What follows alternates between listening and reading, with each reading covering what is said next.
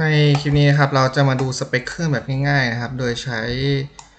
เครื่องมือหนึ่งนะครับบน Windows 10 นะครับ ที่ชื่อว่า System Information นะครับ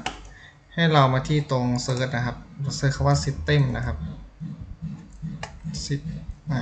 system ครับแล้วก็ Information นี่ครับก็จะขึ้น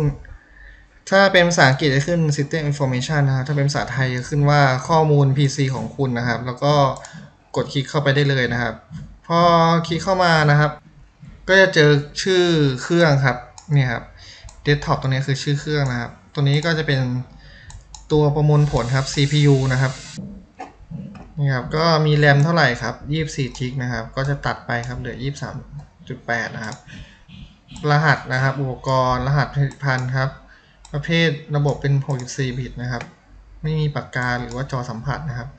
ตัวนี้ก็ข้อมูลของ Windows ครับ ใช้ Windows 10 Home นะครับ Single Language ก็คือใช้ภาษาเดียวครับ คือภาษาไทย แล้วก็ตอนนี้เป็นรุ่น 21 นะครับ H1 นะครับ ก็คือรุ่นล่าสุดติดตั้งเมื่อไหร่ครับ OS เวอร์ชันเท่าไหร่นะครับ ประมาณนี้นี่คือวิธีการดูนะครับเป็นดูพวกอ่าสเปคเครื่องนะครับรายละเอียดต่างๆ ที่เหลือก็สามารถดูได้นะครับ แบตเตอรี่ ฮาร์ดดิสก์นะครับ ตัวช่วยโฟกัสอะไรต่างๆเสียงครับ ก็อยู่ตรงนี้ทั้งหมดนะครับ